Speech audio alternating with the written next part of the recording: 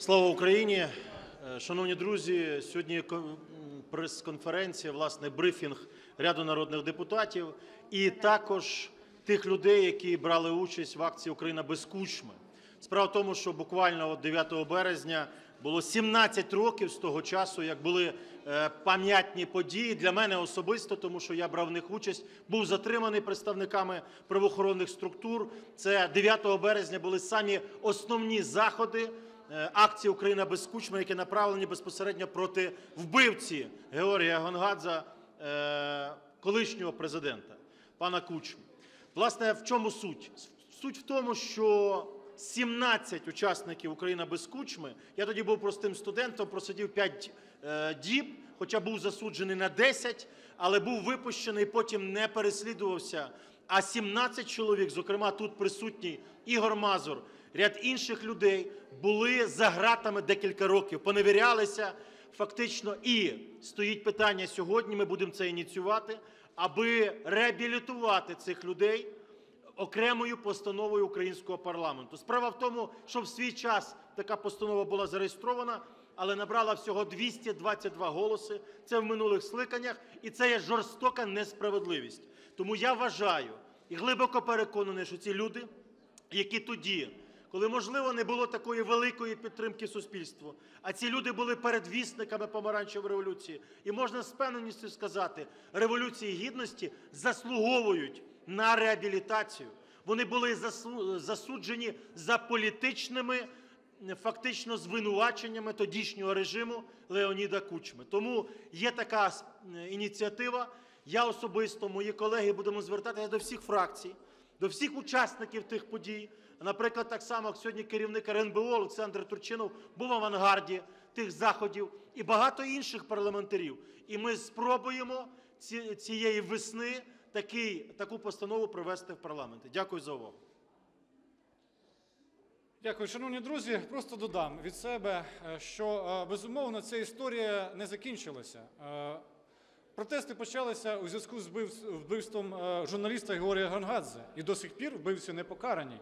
До сих пір Леонід Кучма е, керує нашою країною, до сих пір Пінчук володіє телеканалами і так далі. Тому одним із кроків для того, щоб побороти е, все те, що складав режим Кучми Януковича, сьогодні мусить бути це демонстрація нашої політичної волі і демонстрація того, що ми поважаємо той подвиг тих людей, котрі боролися тоді і вчинили ці свої дії. Дякую.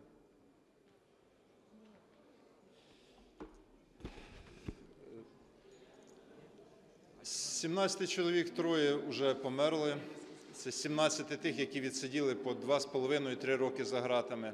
Їхні рідні до цього часу, десь, можливо, там, де проживають, мають той певний е, ярлик на своїх близьких, що вони були кримінальними злочинцями. Це Руслан Зайченко, Денис Андрусенко, Андрій Костенко. Микола Карпюк, наш е, посправник, зараз вже 4 роки знаходиться за ґратами в Росії, заарештований ФСБ. Ми через кілька днів буде цих 4 роки.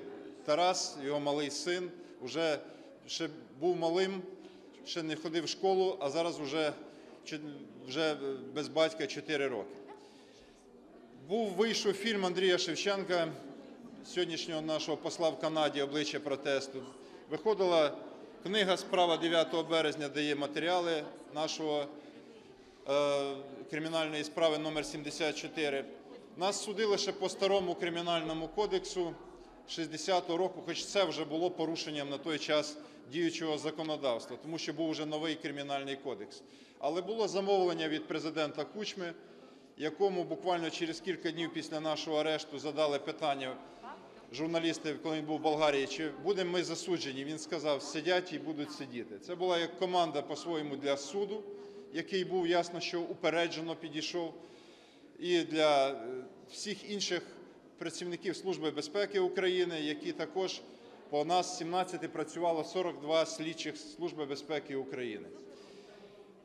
Хочу так само нагадати, що е, Генеральний прокурор України на сьогоднішній день Юрій Луценко, і так само, як і Турчинов, про якого згадували, був нашим посправником.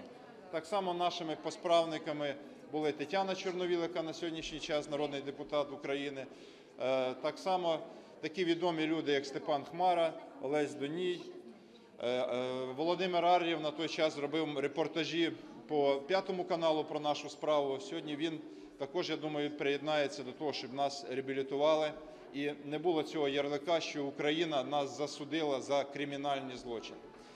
Е, Ми воювали на цій війні, ми воювали на інших війнах, які були в 90-х роках проти російської агресії. Зрозуміло, що на сьогоднішній день ми так само маємо, хочемо мати наше чесне ім'я, не, за, не заплямованим.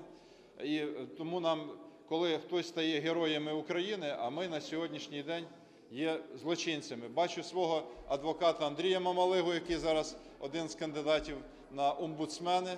Він нас захищав. Е, Так само нашим захисником був е, Віктор Шишкін, Віктор Іванович Шишкін, перший генеральний прокурор, який так само виступає проти перекручування Конституції України нашими президентами, тому що кожен президент, приходячи, починає робити Конституцію під себе.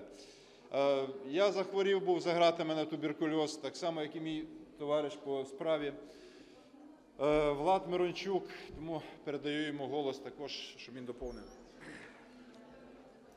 Після е, перемоги помаранчевої революції здалося, що ось нарешті е, восторжествує справедливість. По телевізору, е, по якомусь каналу показували фільми Обличчя протесту і е, Тіні війни. І тоді президент тодішній виступив, що ось ці події, ці люди були як предтечами цієї помаранчевої революції, її перемоги. І треба відновити справедливість. І першим кроком, якби з його боку, було нагородження чотирьох е, наших посправників, керівників акції Зайченко, е, Карпюка, орденом за мужність третього ступеня, е, Мазура, ну, я всіх не перераховую. І здавалось би, все було добре, але під час повторного розгляду